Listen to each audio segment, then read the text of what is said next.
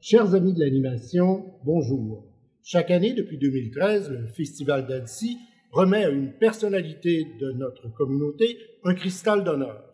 Cette année, c'est une figure marquante de l'animation française qui sera célébrée.